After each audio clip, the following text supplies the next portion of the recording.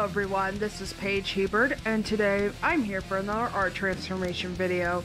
Now, I'm gonna do three different art transformations like I did back in March. If you guys wanna go check that video out, I'll leave a link down in the description below. This time, I am not only just doing a traditional artwork on all three of these, in fact, I'm only doing traditional artworks for two of these. The first one is called Bobby, which is actually a Mother's Day uh, present I did for her dog, Bobby.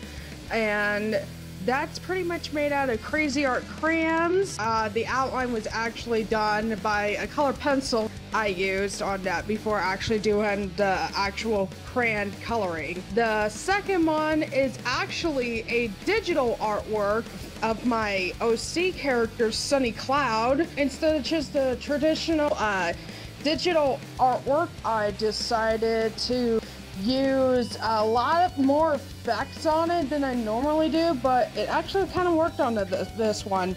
And the last one is called Sophia, which is actually a new original character I made.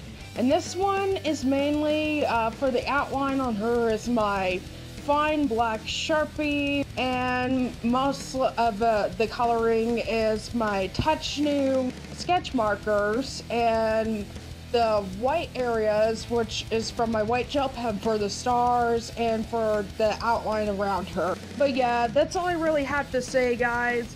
If you enjoyed this video, make sure to leave a like on this video.